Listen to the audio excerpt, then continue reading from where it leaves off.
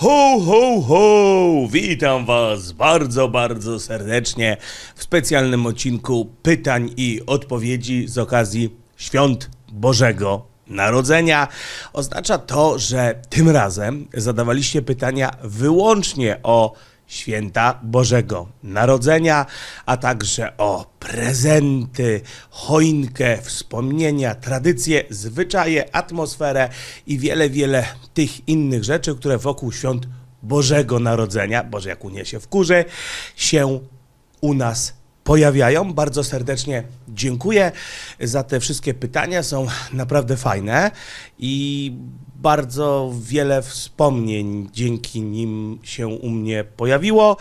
Tym bardziej cieszę się, że te pytania dostałem i cieszę się, że za Waszą namową ten eksperyment robimy i ten jeden, jedyny raz, takie specjalny QA o świętach zamiast Q&A ekonomicznego się pojawi.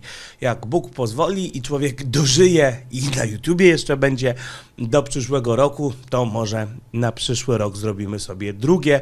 Oczywiście jak zwykle, żeby móc zadawać pytania, trzeba było być członkiem naszej grupy facebookowej Płatnicy Składegatora bez ZUS. Zapraszam, grupa darmowa, to tylko taka nazwa, a w opisie jest link do grupy i też jak zwykle łatwiej było się dowiedzieć o tej ankiecie z reklam na pozostałych naszych social mediach, których pełna lista również znajduje się w opisie, także również zachęcam do zalajkowania, followowania, obserwowania, czy to tam, co tam się mm, robi na tych pozostałych social mediach. Są tam też rzeczy, których nie ma nigdzie indziej, a zwłaszcza takich, których nie ma na YouTubie, no bo na YouTubie generalnie nie wrzuca się zdjęć, a i tekstów też mało można wrzucać, a nie każdy temat y, jest tak obszerny, że zasługuje na duży vlog, którego przecież długo się robi, tylko czasem tweet albo wpis na Facebooku wystarczy, a na Instagrama y, najlepsze są zdjęcia i link do tych wszystkich naszych social mediów znajduje się w opisie. Drodzy Państwo, pierwsze pytanie od pana Michała. Jaki prezent najbardziej Cię ucieszył do tej pory, Krzysztofie? Panie Michale, zakładam, że chodzi tutaj o prezent bożonarodzeniowy. Gdyby to chodziło tak w ogóle o prezent, tak w ogóle, to byłby to któryś z prezentów, który dostałem od najnowszej członkini mojej rodziny, bo w zasadzie wszystko, co ona robi, jest najlepsze. Także tutaj prezenty też oczywiście są najbardziej cieszące, ale w kontekście Bożego Narodzenia i świąt to, to jeszcze, jeszcze nie, jeszcze za wcześnie, bo ta słodka i kochana istotka jeszcze wierzy w świętego Mikołaja, w związku z tym, no siłą rzeczy, no przecież nie robi prezentów, bo prezenty mnie przynosi święty Mikołaj, chociaż tak sobie myślę, że już niedługo może to się zmienić, bo widzę w tej kochanej, słodkiej istotce taką dociekliwość i zadaje bardzo dużo pytań, na przykład takich a jak Mikołaj się do nas dostanie, skoro my nie mamy komina? A może otwórzmy na noc otwarte okno, to Mikołaj jak nie ma komina, to wejdzie przez okno. Albo, a może, że otw zostawmy otwarte drzwi, ale jak to Mikołaj bez otwartych drzwi też do nas wejdzie? Przecież mamy zamki, przecież Mikołaj nie ma klucza. I takie naprawdę, naprawdę takie pytania bardzo, bardzo dowodzące, no, wysokiej dociekliwości. Niestety ostatnio też pojawiają się takie pytania, na przykład, a y, czy Mikołaj na pewno przyniesie mi prezent, nawet jak PiS pozamyka sklepy na święta i za to, że oni już tam w przedszkolu o takich rzeczach gadają, no to powiem, że tego PiSowi nigdy nie wybaczę, że że takie małe, słodkie istotki już wiedzą, co to jest zaraza, że są zamknięte sklepy, że są obostrzenia, że są kwarantanny, inne tego typu rzeczy. To bardzo psuje dzieciństwo i, i to jest bardzo niedobre. Ale powiem szczerze, ale taka dociekliwość jest. Na przykład taka e, ostatnio wyskoczyła, że list do świętego Mikołaja trzeba znaczek nakleić, bo jak nie nakleimy znaczka, to przecież poczta tego nie dostarczy do Mikołaja i skąd Mikołaj będzie wiedział, co ona chce. Także powiem szczerze, taka no, no dumny jestem. Jestem naprawdę bardzo dumny. Wysoka inteligencja, dociekliwość, umiejętność łączenia faktów. Kompletnie nie wiem, po kim ona to ma, ale dumny jestem jak cholera. A teraz odpowiadając na e, pytanie. E, prezent na Boże Narodzenie, który mnie najbardziej ucieszył. To powiem wam tak. Dwa. Pierwsze, ponieważ chcę, żeby była jak najlepsza atmosfera, to zacznę od tego pierwszego to kiedyś moja obecna żona dała mi bardzo fajny prezent na Boże Narodzenie. Myśmy jeszcze wtedy byli parą, nawet jeszcze nie narzeczeństwem, byliśmy tak dość niedawno, że się tak, to było niedługo po tym, jak żeśmy się po prostu tam parą zostali, zeszliśmy się. No dostałem bardzo fajny prezent, chociaż w zasadzie to, co ja dostałem, to ma mniejsze znaczenie. Większe znaczenie ma to, że żona powiedziała, że, znaczy przyszła żona powiedziała, że nie miała czasu tego zapakować i ukryła to gdzieś na siebie, na sobie i że muszę sobie poszukać. No i powiem wam szczerze, szukałem, wytrwały byłem, znalazłem, ale jakoś się tak nie śpieszyłem. A proces szukania naprawdę bardzo, bardzo fajny był. Człowiek był wtedy jeszcze młodszy, bardziej rzeźki. Bardzo fajny prezent do żonki dostałem. Natomiast pomijając tego typu rzeczy, to chyba najbardziej pamiętam prezent od dziadka było bardzo dawno. Dziadek już nie żyje od wielu lat. E, jeszcze zanim na studia poszedłem, już 20 parę lat jest, jak dziadek nie żyje. Słuchajcie, to był PRL, to była komuna i dostałem od dziadka piłkę. I musicie zrozumieć pewien kontekst, bo dzisiaj to wiecie, tak się mówi, a piłka, to jest piłka, nie? Każdy dzieciak ma po 10 tych piłek i tam ta zła, niedobra, bo ta ma Sky, a powinna mieć Chase'a, a w ogóle teraz to już Psi Patrol jest niedobry, teraz tam księżniczka jakaś, tam nie jestem na bieżąco, wiadomo o co chodzi, nie? Ale to była komuna. Za komuny było zupełnie inaczej. Myśmy za komuny mieli dużo mniej, co wcale nie znaczy, że nie byliśmy szczęśliwi. Umieliśmy się naprawdę bawić byle czym. Um, potrafiliśmy zwykłymi grudkami ziemi się fajnie bawić, E, patykami się fajnie bawić, potrafiliśmy naprawdę wiele fajnych zabaw mamy. To nie jest tak, że ja uważam, że jak mm, w dzieciństwie miałem mniej zabawek, bo wszyscy mniej mieliśmy. Nie dlatego, że jak rodzina jakaś była biedna, tylko po prostu za komuny było biedniej, że to były gorsze, gorsze dzieciństwo, ale my naprawdę potrafiliśmy się świetnie bawić mm, czymkolwiek, ale piłka, piłka była swoistym mm, wyznacznikiem statusu na podwórku tak jak dzisiaj pewnie jest iPhone, przepraszam, iPhone czy tam coś innego, to u nas było także piłka, taka piłka do nogi, wiecie, skórzana, szyta piłka. Generalnie chodziło o to, że ten, kto miał piłkę, ten wymiatał na osiedlu, wiecie.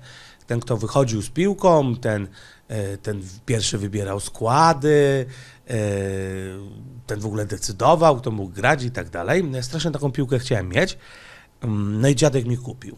A to wtedy Wtedy nawet nie chodzi o to, że ona była strasznie droga, tylko ciężko było kupić, po prostu nie było. No i dziadek to wystał w kolejce i miałem, wiecie, i nie musiałem się prosić, nie musiałem czekać, aż ktoś wyjdzie z piłką, tylko po prostu wychodziłem z piłką i od razu żeśmy grali. To było takie fajne. Pamiętam też, jak z dziadkiem żeśmy grali w przedpokoju w mieszkaniu, jak go jego własna córka, czyli moja matka, opierdzieliła, ale i tak ze mną grał. Drugie pytanie od pani Justyny. Czy Polacy zareagują inaczej na. Nie, przepraszam, to, to nie ten QA. Przestawiły mi się ankiety. Drugie pytanie jest od pana, mm, e, e, od pana Arona.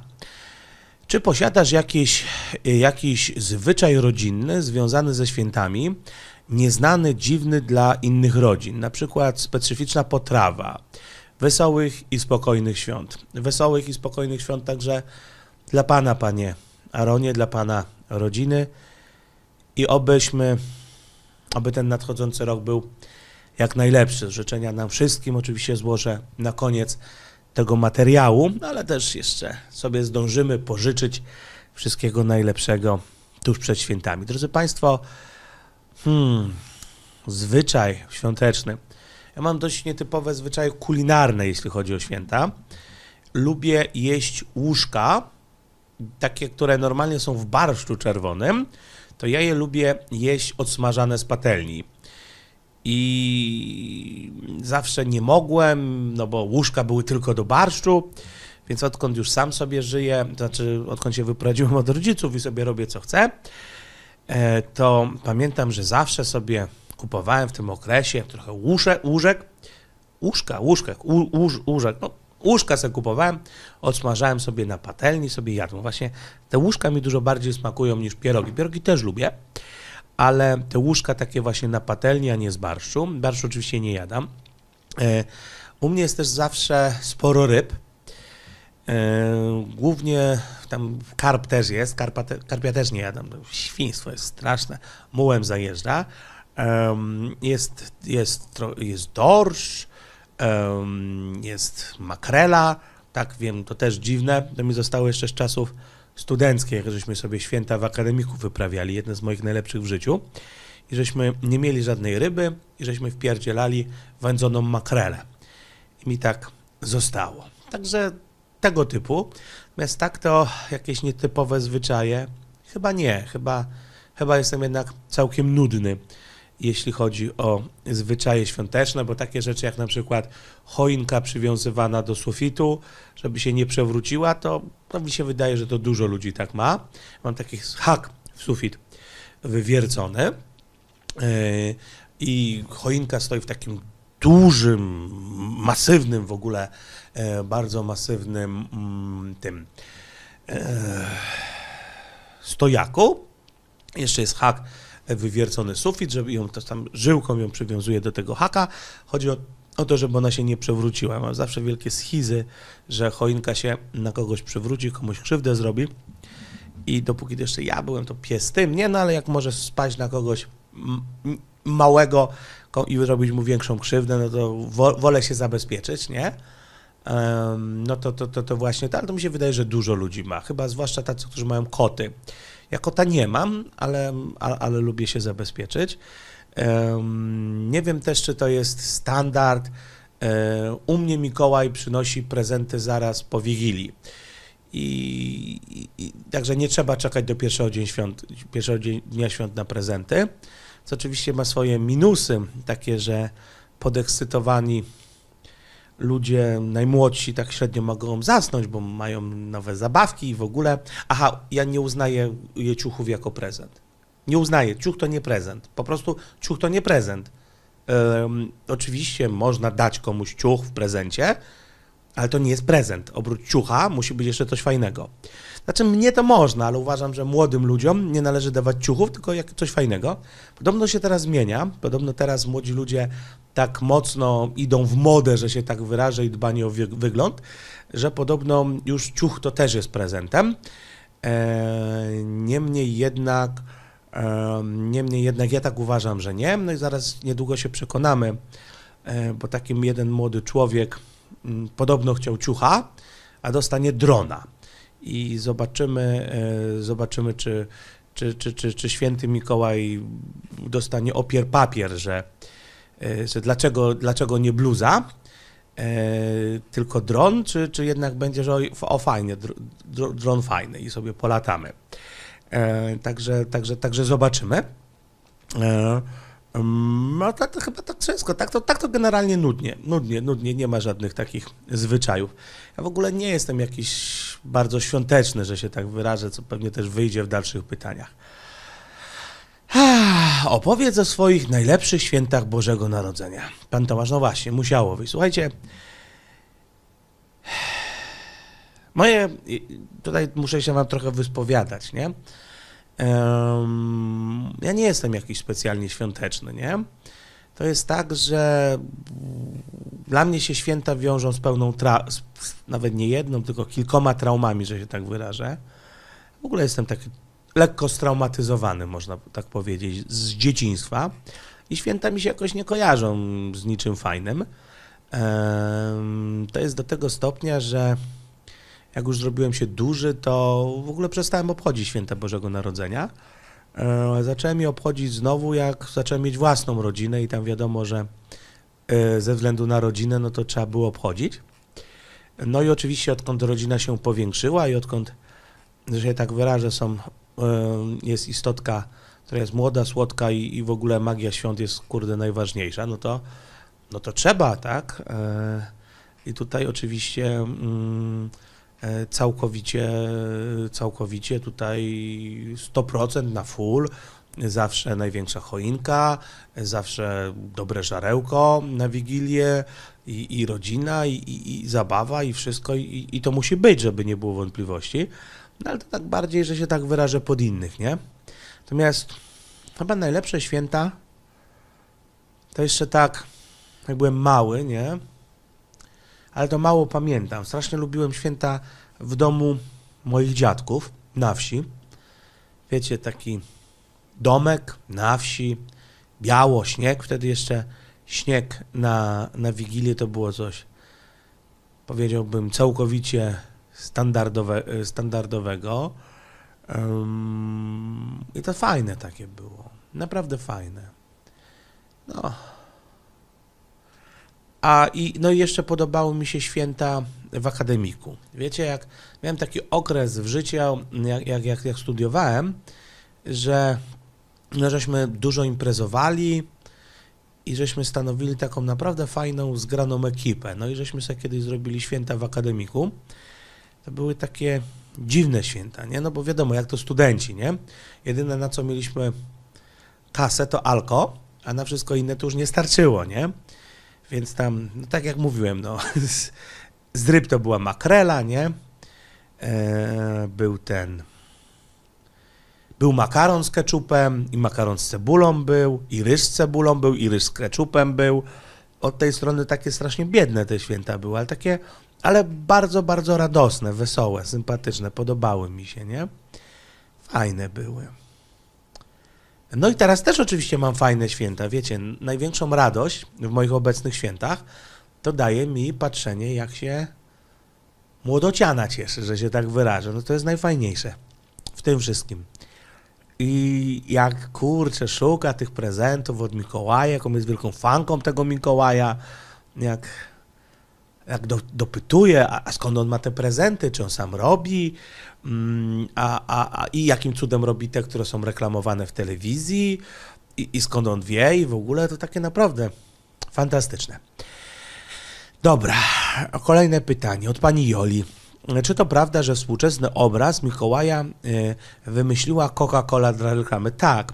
I zdaje się, że go nawet e, e, opatentowała. Tak zwany Santa. Santa Claus, Santa. To jest wymysł rzeczywiście Coca-Coli do reklamy świątecznej. No to chyba wszyscy wiedzą, że prawdziwy święty Mikołaj to był biskup. Kompletnie nie miał nic wspólnego z tym typem z reklamy i dawał prezenty biednym dzieciom tyle. Tak, to, że tak, to, te, te, ten dzisiejszy święty Mikołaj to jest, jak dla mnie, jeden wielki syn, y, symbol komerchy i to takiej totalnej, powiedziałbym, nawet taniej, taniej komerchy, takiej, takiej na zasadzie coraz bliżej święta, coraz bliżej święta, czas pomyśleć o prezentach, a kochajmy się wszyscy i pijmy Coca-Colę, nie? Czyli taka próba, mm, po, po pierwsze takie święta, których ja nie akceptuję, dla mnie święta to jest jednak przeżycie religijne, jestem wierzącą osobą, jakoś nie, nie bezgranicznie, że się tak wyrażę, nie bezkrytycznie i nie jakoś specjalnie mocno, na pewno nie jestem ortodoksyjnym chrześcijaninem, natomiast, e, natomiast wierzącym, zdecydowanie wierzącym, więc mnie na przykład w świętach najbardziej przeszkadza właśnie ten konsumpcjonizm, ten co ten Santa Claus, czyli nie ten, czy w sumie ten komercyjny Mikołaj sobą utożsamia, tak? Czyli pokaż im, jak ich kochasz, wyprój sobie żyły um, i kup im jak najwięcej prezentów, nie? Um, I oczywiście koniecznie pij Coca-Colę. E, czyli no coś, co mnie zawsze strasznie wkurzało. Wiecie, to jest też chyba takie typowo polskie, że większość z nas jest w stanie po prostu, przepraszam za wrażenie, rozpierdzielić sobie święta mm, tym, żeby jakby dążeniem, żeby one były doskonałe. To jest jeden element, z których pamiętam z dzieciństwa. Koniecznie tam umyj okna, posprzątaj, kon- koniecznie musi być tych 12 potraw, pies tym, że połowę nikt nawet nie spróbuje i tak dalej, i tak dalej, ale tak się kurde urobić po łokcie, że jak już przyjdzie ta Wigilia, to ludzie są tak strasznie wypruci, że najchętniej to by poszli spać. I to mnie właśnie wkurza w tych konsumpcyjnych świętach. Em, zwłaszcza, że tam wiecie, zawsze, że na przykład jeśli je- są dwa podejścia, tak? Jedno podejście wyprój sobie żyły, a drugie podejście, a może byśmy tak pokontemplowali, pomyśleli, posiedzieli. Naprawdę nic się nie stanie, jak okna będą brudne, w dupie to mam. No to są pewne stysje, tak? No bo ci, którzy sobie wypruwają żyły, to uważają, że muszą sobie wypruwać żyły, bo ty nie chcesz sobie wypruwać żył, ciebie znowu wkurza, że ich wkurza, że ty nie wypruwasz sobie żył i tak dalej, i tak dalej, i tak dalej.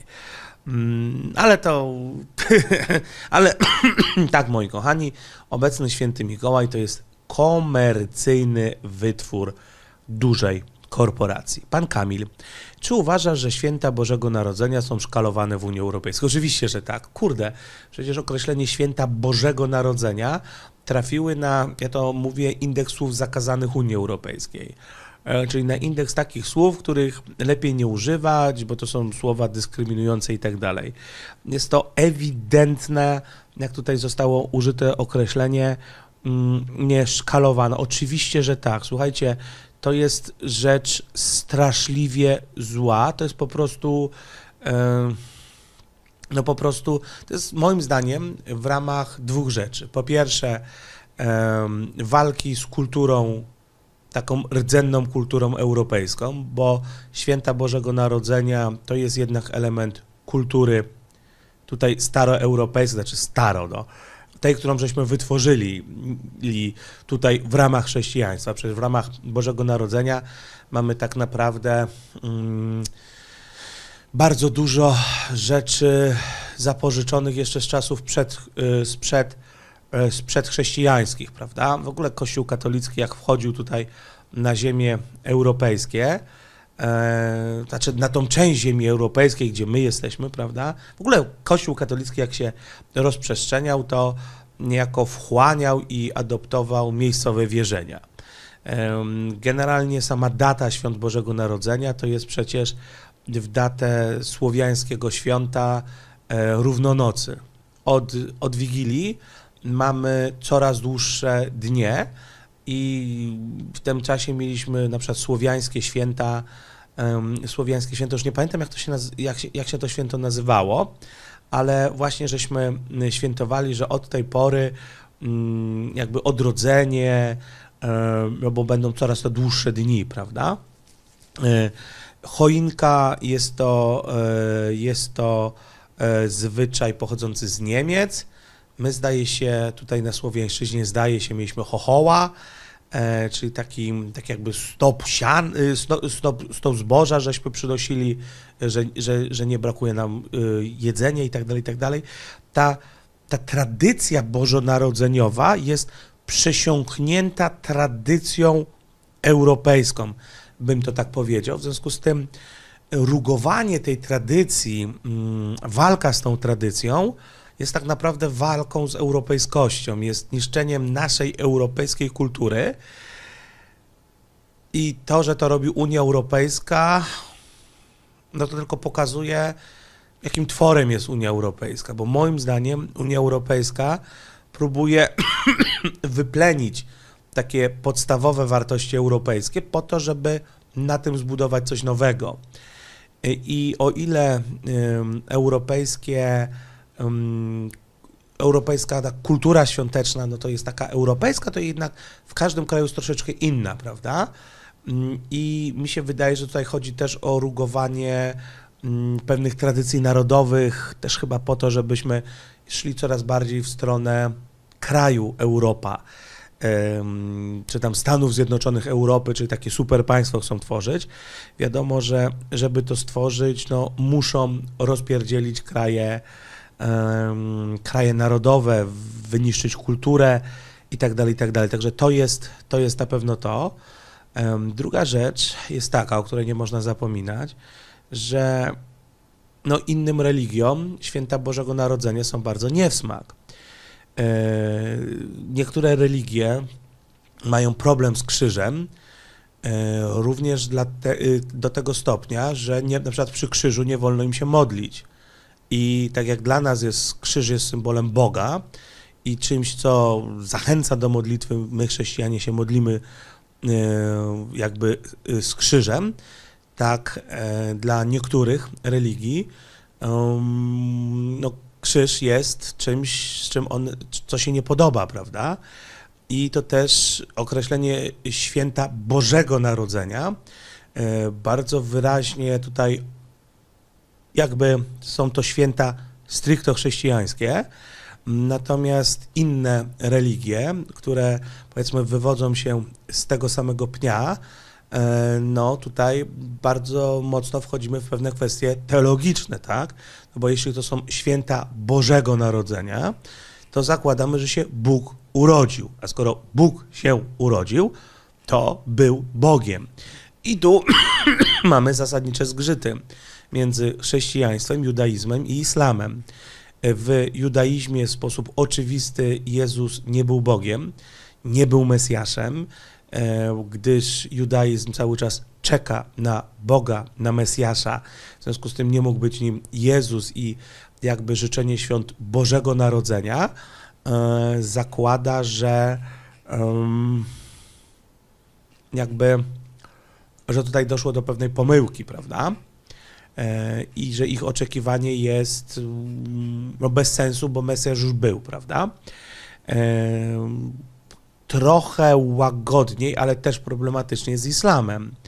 E, w islamie Jezus był wyłącznie prorokiem, ważnym, szanowanym, ale prorokiem, nie był Bogiem. Więc znowu mm, święta Bożego Narodzenia, e, jakby życzenie świąt Bożego Narodzenia z punktu widzenia e, islamu będzie bluźnierstwem, bo to jest uznanie, że Jezus był Bogiem, a według nich nie był Bogiem. Tak samo z punktu widzenia judaizmu. I teraz osobiście ja jestem człowiekiem wierzącym, chrześcijaninem. Ja uważam, że Jezus był, a także jest Bogiem. Natomiast był Bogiem, był Bogiem, który y, jako człowiek chodził po ziemi. Natomiast ja tego nikomu nie narzucam.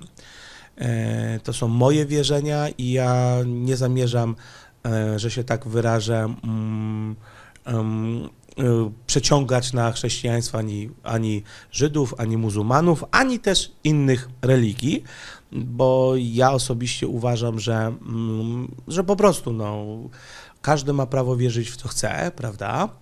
I ja na przykład nie mam problemu, żeby życzyć koledze, który jest Żydem, przyjemnej rodzinnej paschy. Tak samo nie mam problemu, żeby składać życzenia, życzenia znajomym, którzy są muzułmanami, a nawet mam wśród znajomych hinduistę i też on ma swoje wierzenia i też jak wiem, że ma jakieś święto, to składam mu życzenia z tego powodu i nie uważam, że jeżeli złożę mu życzenia z okazji święta jakiegoś jego boga hinduistycznego, to, że ja w ten sposób zapieram się swojej religii, czy też uznaję jego wierzenia za prawdziwe i że też uznaję ten byt, który on uznaje za Boga, że on jest Bogiem. Nie, ja po prostu składam życzenia swojemu przyjacielowi, który akurat na przykład wyznaje przykładowo zupełnie Ganesze. I to jak składam mu życzenia z, z jakiegoś, z okazji jakiegoś święta rodzinnego, którym czci się Ganesze, to nie uznaję, że Ganesza jest Bogiem, bo ja wyznaję jednego Boga e, w Trójcy, tak? Mam nadzieję, że rozumiecie.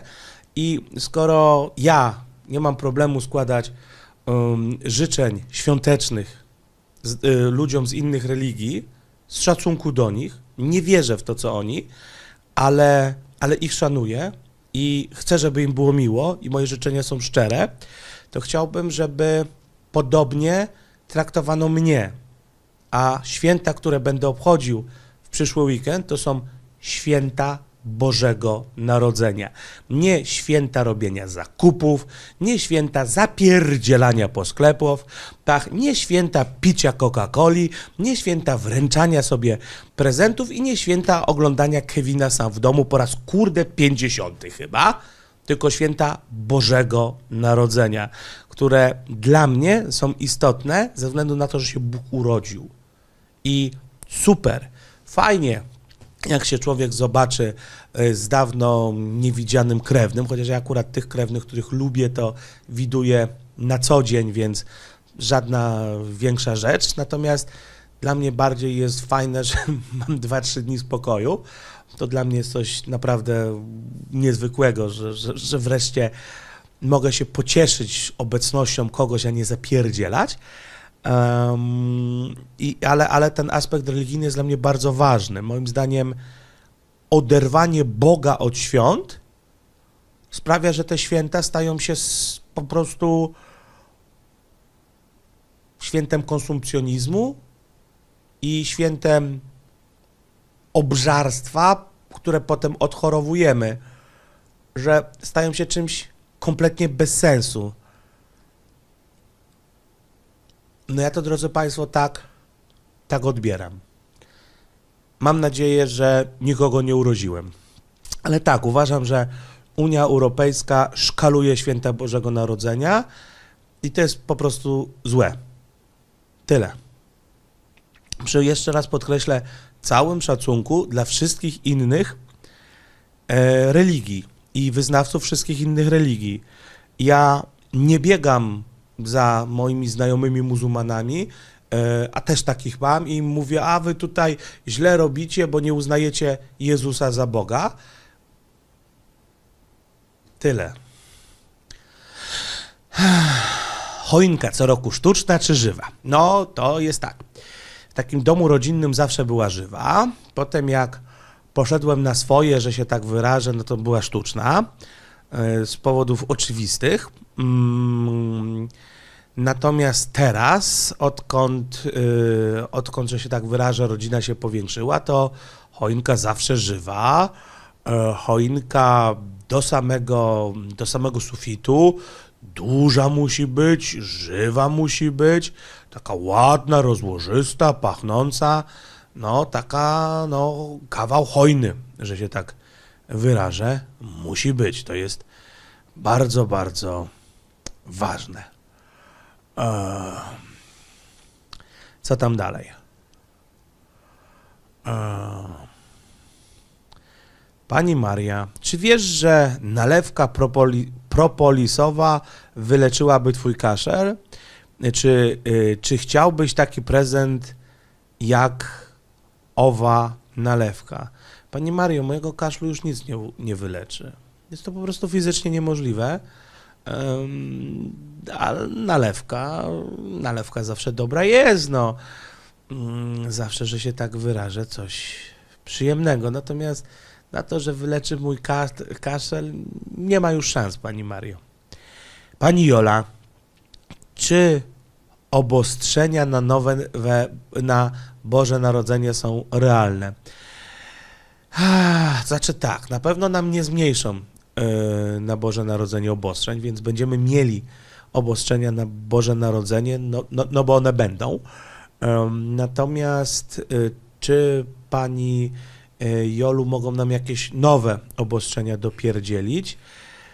Wydaje mi się, że już więcej tych obostrzeń na Boże Narodzenie raczej nie dopierdzielą, chociaż niestety oni są, powiedziałbym, e, no, bardzo, bardzo zdolni, więc no bardzo się boję, że, że niestety coś tam może być. Miejmy nadzieję jednak, że nie. Miejmy nadzieję, że tak, e, że tak nie będzie. E, natomiast mm, natomiast natomiast no niestety jest to kurczę możliwe, ale, ale sądzę, że nie. Natomiast y, mm, natomiast mogą próbować zepsuć nam święta mm, jakimiś kwestiami związanymi z egzekwowaniem już obecnych y, obostrzeń. Drodzy Państwo, pamiętajcie, że cały czas są obostrzenia co do spotkań, co do ilości ludzi na spotkaniach rodzinnych itd., itd., itd.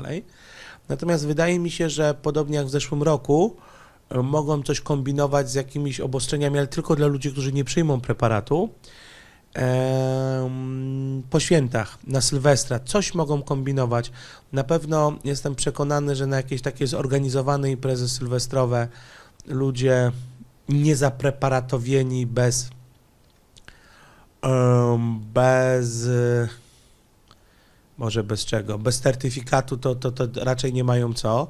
Jestem przekonany, że na imprezy sylwestrowe będą naloty e, policji, straży miejskiej.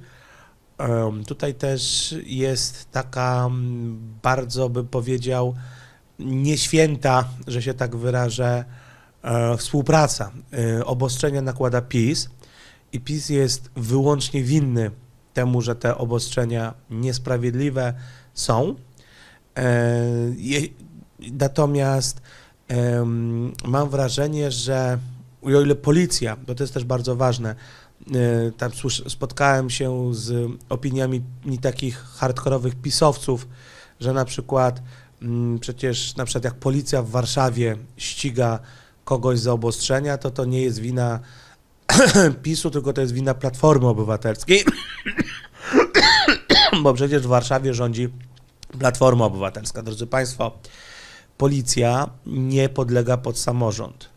Jeżeli policja cokolwiek robi na terenie kraju całego, to jest to wyłącznie wina partii rządzącej. Lub, no bo, to, bo policja jest ściśle hierarchiczna, nie podlega pod ministerstwo. To Straż Miejska podlega pod samorząd. Jeżeli Straż Miejska na przykład biega po supermarketach i zachowuje się w sposób niegodny, to oczywiście jest niedobre. Yy, Natomiast to, co robi policja, obciąża w 100% PiS. Także na przykład to, że policja nie jeździ w ogóle na imprezy partyjne i nie ściga na imprezach partyjnych za brak maseczek, a tam przecież na tych imprezach partyjnych to prawie nigdy nie ma maseczek. Tam do zdjęć sobie założą, a, a potem już nie za bardzo. No to to jest wyłącznie domena PiSu. Natomiast mam takie wrażenie, że jednak na przykład Straż Miejska no bardzo mocno ściga za te obostrzenia, bo wie, że ludzie się wkurzą na PiS. Im bardziej odczują te obostrzenia, tym bardziej się na ten PiS wkurzą. Ech, Jola, kiedy przestałeś wierzyć w Mikołaja? Pani Jola, mm, kiedy przestałem? W, przedszk- e, w zerówce. W zerówce. Nie wiem, czy to późno, czy to, czy to wcześnie. W każdym razie z mojego środowiska dość wcześnie, że się tak wyrażę. To było mniej więcej tak, że, em, że w zerówce mieliśmy takiego, em, takiego dzieciaka, który, o który opowiadał różne historie. No i on tam opowiedział między innymi, że świętego Mikołaja nie ma, że rodzice to podkładają prezenty i opowiedział nam, że on widział, jak ojciec podkłada prezenty pod choinkę. Oczywiście nikt przy stoliku, bo myśmy w zerówce siedzieli chyba, cała grupa chyba była podzielona na trzy albo cztery stoliki, chyba trzy. No to żeśmy siedzieli przy tych stolikach tak po, po sporo osób i nikt z całego stolika nie wierzył, że, że nie ma świętego Mikołaja. Wszyscy twierdzili, że święty Mikołaj oczywiście jest. No ja stwierdziłem, że sprawdzę. No i tak sobie wydedukowałem, że jeśli święty Mikołaj ja nie ma, to rodzice, to znaczy, że pre- prezenty robią rodzice, to znaczy on to powiedział, że, czyli, y, że, że prezenty robią rodzice i ja stwierdziłem, że skoro prezenty robią rodzice, to muszą gdzieś te prezenty chować. To była jeszcze komuna i wtedy to nie było tak, że prezenty sobie po prostu idziesz, kupujesz, tylko wiadomo było, że one muszą być wcześniej. No i, no i stwierdziłem, że właśnie mm, stwierdziłem, że że, mm, że musi być e, że musi być y, musi być e, przepraszam że musi być ten e, że musi być y, że muszą być gdzieś te prezenty. No i zacząłem szukać tych prezentów i znalazłem no jak znalazłem te prezenty no to tam zobaczyłem, co jest. Potem czy poczekałem do Wigilii. Na Wigilię rzeczywiście dostałem to, co tam znalazłem. No i stwierdziłem, że rzeczywiście świętego Mikołaja nie ma. Tam rodzice coś tam, tam gadali, że jest i tak dalej, i tak dalej. Potem się na mnie wkurzyli. No ale tak się dowiedziałem, że świętego Mikołaja nie ma. W sumie przez dociekliwość i sprawdzanie, że się tak wyrażę, wówczas wydawało się kompletnie niedorzecznych historii. Trochę może mi z tego zostało do dziś. No i to chyba było nawet dość wcześnie, bo pamiętam, że tam w pierwszej klasie, czy ta, yy, i nawet w drugiej klasie jeszcze były dzieciaki, którym jak im mówiłem, że yy, że świętego Mikołaja nie ma, to, to, to nie wierzyły. Pan Grzegorz, dlaczego medialnie promuje się odejście od prawdziwego sensu świąt na rzecz konsumpcjonizmu i laicyzacji? Na pewno ze względów finansowych. Święta religijne nie dają zarobić marketom, nie dają zarobić producentom, co najwyżej dają zarobić księdzu, nie? Jak tam rzucisz na tacę parę złotych, prawda? E, swoją drogą ciekawe, jak to będzie, czy, czy w tym roku będą księża sprawdzać na partesterce certyfikaty covidowe i czy wpuszczą ludzi do środka, czy nie. Przykre, nie? Na pewno także, na pewno dla pieniędzy, proste. E, w święta Bożego Narodzenia to jest pierwszy najlepszy okres handlowy na świecie. Oczywiście tutaj dla nas, tutaj w tej cywilizacji, nazwijmy to zachodniej, prawda? Najwięcej kasy się, najwięcej kasy się zarabia w handlu, to jest najlepsze. A ponieważ my importujemy rzeczy z prawie całego świata, no to dzięki temu producenci zarabiają, wszyscy zarabiają, biznes się kręci, prawda? Także tutaj na pewno też o to chodzi. Wydaje mi się, że, e, że taka pewna Także tutaj na pewno chodzi o przyciągnięcie do konsumpcjonizmu, bo na konsumpcjonizmie po prostu zarabia się kasę.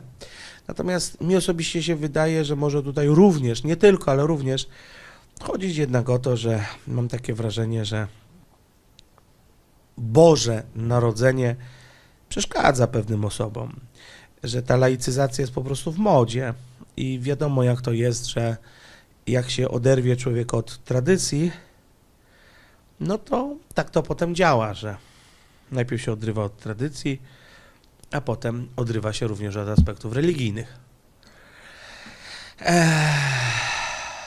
Twoje najgorsze święta w życiu, pani Jola. Pani Jolu, przepraszam, nie odpowiem na to pytanie. No, powiedzmy, że są powody, dla których nie za bardzo lubię święta E, że no, są powody, że mam tam jakieś traumy związane ze świętami. Nie chciałbym na ten temat w szczegółach mówić. Proszę mnie zrozumieć, proszę wybaczyć. Znowu pani Jola, czy to prawda, że prezenty dla najbliższych kupiłeś już w wakacje? Tak, to prawda. E, widzę, że pani Jola ogląda też Wagona. Bardzo serdecznie pozdrawiam Wagona, bo to rzeczywiście się się przyznałem kiedyś, jak to żeśmy sobie rozmawiali. Tam też często bywam właśnie u Wagona na, na streamach, sobie coś tam gadamy, ja coś tam piszę, on coś tam odpowiada. Um, właśnie i tam się w pewnym momencie przyz... już, już tam wiesz, e, zarzucałem um, um, że, że, właśnie już wakacje kupuję prezenty, bo to właśnie żeśmy tam koło wakacji mówiłem właśnie się on się tam pytał, co robię, a no ja zacząłem mówić, właśnie prezenty kupuję na święta. Słuchajcie, to się bierze z kilku rzeczy. To się bierze z kilku rzeczy. Najmniej ważna, ale też ważna, ja zawsze byłem odwa- e, nie odważnym, tylko rozważnym człowiekiem, oszczędnym człowiekiem zawsze byłem. I po prostu kupowanie prezentów świątecznych wcześniej jest po prostu jest po prostu no, najrozważniejsze, że się tak wyrażę, bo jest najtaniej. Jest najtaniej. Nie, yy, słuchajcie, to jest do tego stopnia, że na klocki Lego, które kupiłem taki bardzo fajny, duży zestaw, yy, w tej chwili chodzi po ponad 1000 zł, tam chyba 1600, a mi się go udało kupić chyba za 400, coś takiego. Fakt, że teraz to już jest wy, wycofany z produkcji, podobno dlatego też drożeje, jak jakiś zestaw Lego podobno jest wycofany z oferty czy z produkcji, to podobno wtedy drożeje. No ale słuchajcie, przebitka niezła. W ogóle tak jak patrzyłem to od wakacji, to takie rzeczy prezentowe, tak w stosunku do tego, co jest teraz, to tak o 100-200% poszły do góry, bo to nie tylko ten jeden zestaw poszedł w górę, w ogóle poszło w górę Lego. I nie tylko Lego, w ogóle generalnie e, rzeczy, mm, rzeczy poszły w górę. Mm. Także to, to, to jest po prostu to się oszczędza. Ale również chodzi o to, że e, ja nienawidzę robić zakupów świątecznych na ostatnią chwilę. Po prostu nienawidzę. Mm, Wtedy, jak kupujesz na ostatnią chwilę, mm, to kupujesz bardzo często badziew, bo nie kupujesz tego, co chcesz kupić, tylko chcesz, kupujesz to, co jest. Jest nerwowa, bo może nie będzie, może się nie uda. I to jest bardzo niefajne. W tym roku jeszcze doszło to, że doszło to, że mm, ja przewidywałem, że mogą być jakieś problemy e, z wirusem i, i przez to mogą być jakieś, jakieś hece. Poniekąd trochę miałem rację. No i najważniejsze, słuchajcie, ja lubię kupować prezenty. Naprawdę. E, Ja czasem się łapię na tym, że jak mam takiego naprawdę strasznego doła, jak mi się tak strasznie kurde nie chce żyć, ale tak naprawdę, nie, że tam człowiek siedzi, patrzy w ścianę i, i ma jakieś głupie myśli, nie? No to radość sprawia mi, wchodzę sobie na jakiś tam serwis i kupuję komuś, kogo lubi jakiś prezent. To mi sprawia zajebistą radość, wiecie? Może dlatego, że już jestem taki trochę stary i zgorzkniały i w zasadzie ja to już mało potrzebuję, bo po prostu no mam, nie? Ale ja lubię patrzeć, jak ktoś się cieszy, naprawdę. To jest takie fajne, to jest takie, takie miłe. Dasz coś komuś, ktoś się cieszy. Zwłaszcza jak to jest jakaś mała istotka, taka niewinna, słodka, to jest takie, ta, ta, ta radość jest taka udzielająca i może trochę na zasadzie psa Pawłowa, nie? Jak ktoś nie wie, o co chodziło z psem Pawłowa, to, to pies Pawłowa, w ogóle tam te eksperymenty Pawłowa polegały mniej więcej na tym, że on, mm, że on karmił te psy i jednocześnie coś robił, jak, jak te psy karmił. No i wiadomo, że jak karmił te psy, to one się śliniły, nie? No i jednocześnie coś, coś innego robił i tak jakby skojarzył em, tym psom karmienie z tym czymś, chyba puszczaniem muzyki czy coś innego. No i później y, te psy na to coś zaczęły już się ślinić. Nie na, nie na same jedzenie, tylko na to coś, co on im je skojarzył, że się tak wyrażę. Tak samo u mnie. Kupowanie prezentów daje mi zajebistą radość. Po prostu, kurde, lubię kupować prezenty. Lubię robić prezenty, lubię kupować prezenty. No i akurat pewnie też dlatego pokupowałem. Ale, ale to nie jest tylko to. To, to, to. to jest również przezorność, to jest również to, że, że lubię być e, że lubię być taki, no lubię być przygotowany, nie lubię być zaskoczony i też, słuchajcie, od wielu, wielu lat mam takie prace, że em, że w święta jestem pioruńsko zajęty, to tak w zasadzie w zasadzie jeszcze z, z czasów dziennikarskich w święta zawsze no najwięcej najwięcej, najwięcej roboty było właśnie przed świętami, nie? No i człowiek nie miał czasu na nic. No teraz wiecie, jeszcze YouTube, jeszcze inne rzeczy. E, No i no i no i no i, no i lubię być przygotowany, żeby potem rzeczy, które mogę, wolę zrobić wcześniej, tak? Nawet część vlogów, które w tej chwili nagrywa, oglądacie, były nagrane wcześniej. Um, e, em, no, zresztą to widać po moich fryzurach, tak?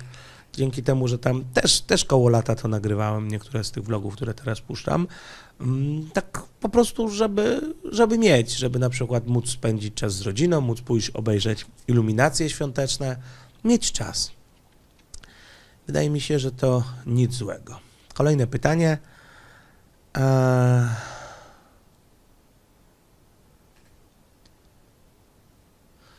Pan Marek, opowiedz o swoich świątecznych tradycjach. To już chyba opowiedziałem wszystko, co najciekawsze. Dlaczego, pani Anna, e, dlaczego Last Christmas jest jednym z najbardziej nielubianych przebojów świątecznych i dlaczego grają go w kółko. Pani Anno, ja nie słyszałem o tym, żeby Last Christmas miało być jakimś specjalnie nielubianym przebojem świątecznym. Ja powiem szczerze, że mi się nawet Last Christmas podoba. Takie fajne, miłe, jeszcze fajny teledysk do tego był zrobiony. Naprawdę spoko. Bardzo mi się podobało. Także może jestem tak bardzo nie up to date, że nawet nie wiem, że, że, już to jest niepopularne. Um,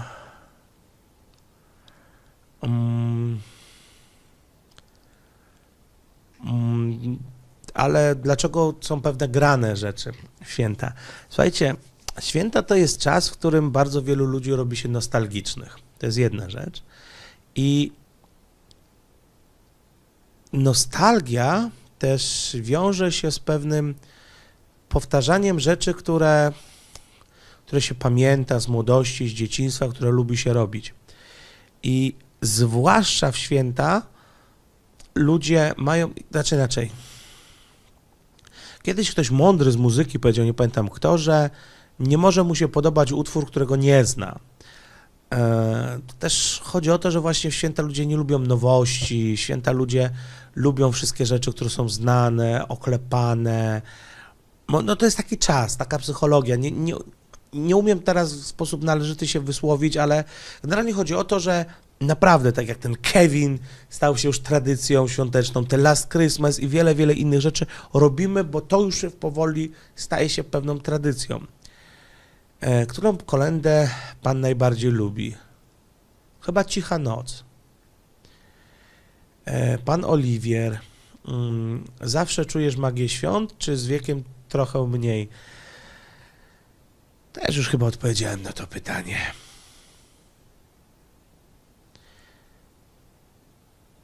Pan Charles. Czy na święta iluminaci nam odpuszczą?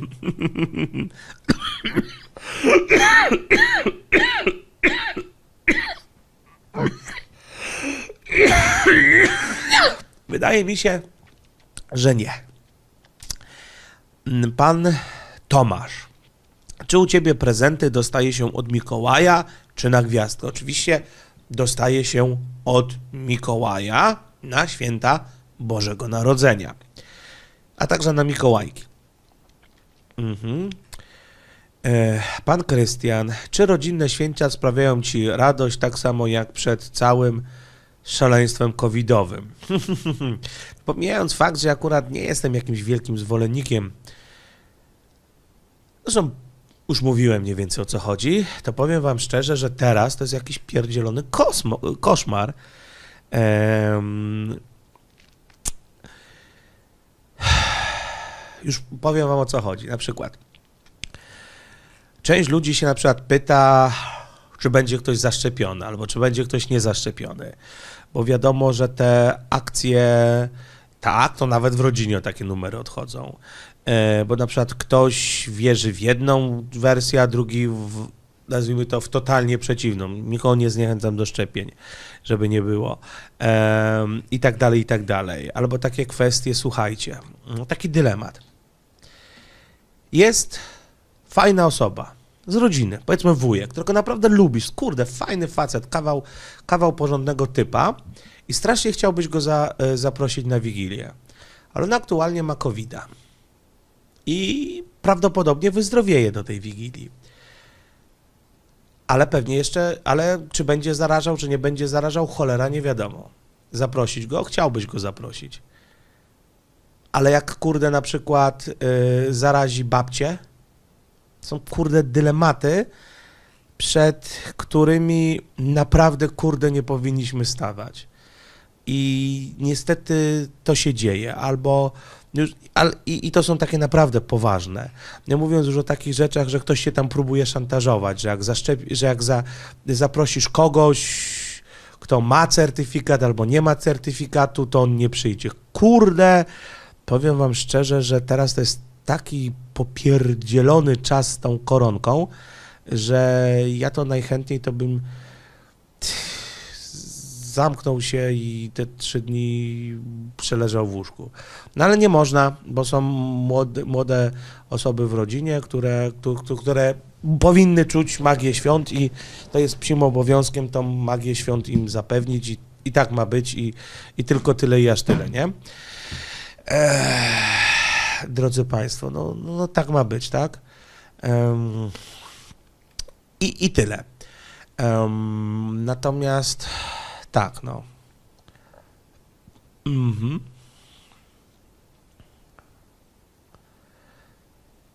Fenomen. Kevina sam w domu. Niby każdy ma dość, a jednak oglądalność zawsze spora.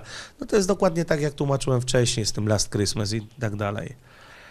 Y, Czy masz jakieś ciekawe, oryginalne ozdoby choinkowe, którymi chciałbyś się pochwalić? Mam. Mam jeszcze takie przedwojenne po przodkach. E, naprawdę bardzo fajne, taki Mikołaj i takie papierowe. W tamtych czasach takie się po prostu główki aniołków kupowało i dorabiało do nich całego, całe, cały tłów aniołka. Takiego Jezuska mam fajnego. Tylko niestety nie mogę się wam pochwalić, bo cały czas leżą w pudełku w piwnicy.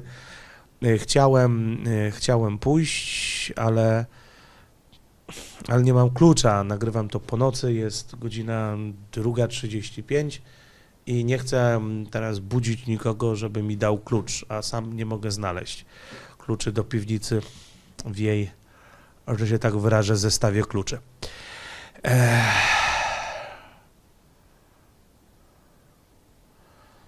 Mm, Pan Daniel. Szczęść Boże. Szczęść Boże, Panie Danielu. Jakie są Państwa tradycje coroczne podczas okresu świąt? Może tradycyjny kompocik, który musi być na stole wesołych świąt. W tej chwili, tak, kompocik jest, kompocik jest, jest kompocik z suszu, bardzo dobry kompocik z suszu, który tam sobie, powiedzmy,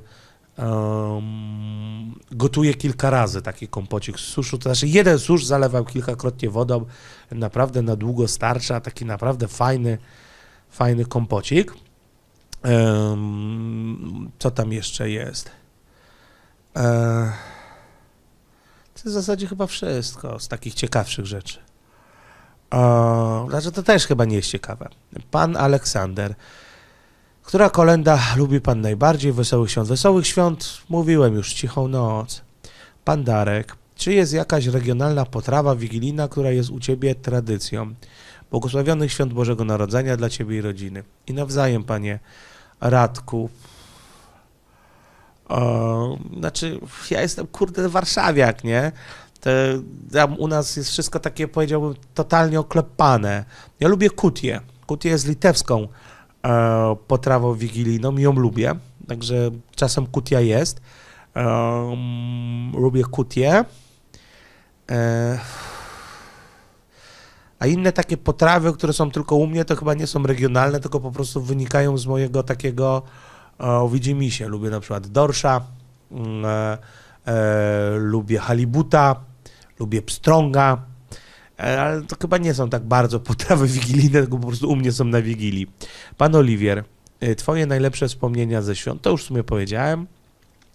Pan Przemysław, dlaczego e, w modelach ekonomicznych e, zestawia się dwie skrajne postaci, na przykład pracusia z leniem? Gdzie jest miejsce w tym modelu dla średniaka? No to nie jest pytanie bożonarodzeniowe, to jest pytanie ekonomiczne, bardzo dobre pytanie ekonomiczne. Gdyby pan zadał je w najbliższym Q&A ekonomicznym, byłoby naprawdę bardzo, bardzo super. Byłoby mi naprawdę bardzo miło. Ehm, Co tam mamy dalej? Mm, Pan Roman, czy święty Mikołaj ma orientację? O cholera, chcecie, żeby mi zdjęli ten film. Ujmę to w ten sposób. Sądząc po różnych tradycyjnych poznaniach, podaniach o świętym Mikołaju, ma i to taką powiedziałbym starego z Bereźnika, bo z jednej strony ma e, panią Mikołajową i to jest pani Mikołajowa, ale z drugiej strony często jest widziany, e, widziany z Mikołajkami, zwykle młodymi, atrakcyjnymi kobietami w bardzo kłusych spódniczkach. No i to, i to słuchajcie, to, to, to, to, to, to, to sugeruje, że facet nie dość, że, że się tak wyrażę, ma takie tradycyjną orientację, to jeszcze zachował libido, taki po prostu Hugh Hefner, tylko w wersji grubszej i z brodą. No. Eee, pan Marek, czy możesz, y, czy możemy zatrzymać pandemię ustawą o zawodzie lekarza i dentysty? To też nie jest pytanie o święta Bożego Narodzenia. Pan Piotrek, na Wigilię 12 potraw, czy uważasz, że to y, zanadto, to jak niektórzy? Mi się wydaje, że w świętach Bożego Narodzenia najważniejsze jest, żeby zwolnić, żeby odpocząć, żeby się trochę zastanowić, żeby spotkać się z ludźmi, żeby pogadać, żeby miło spędzić czas. I naprawdę, ja jestem w stanie sobie wyobrazić święta przy pizzy i podzielenie się kawałkami pizzy. I uważam, że to mogą być dużo lepsze święta niż święta pewne przepychu, na których jest ze 40 potraw, tylko ludzie się cholernie nienawidzą. Mi się wydaje, że treść, treść jest ważna, a nie forma. Ja tak uważam. Inni ludzie mają inne zdanie i różnie to bywa. Słuchajcie, minęła godzina, także życzę Wam szczęśliwych, spokojnych, wesołych, udanych świąt Bożego Narodzenia bez jakichkolwiek ekscesów. Życzę Wam, żebyście w tym czasie się zresetowali, żebyście odpoczęli, żebyście nabrali sił, żeby one po prostu były szczęśliwe, żebyście się radowali. Może, żeby dały Wam siłę, nie, nie może, na pewno, żeby dały Wam siłę na cały najbliższy rok, bo będzie Wam potrzebna. Wszystkiego dobrego. Szczęść Boże. Ale się Unia wkurzy. Ha, ha, ha, ha.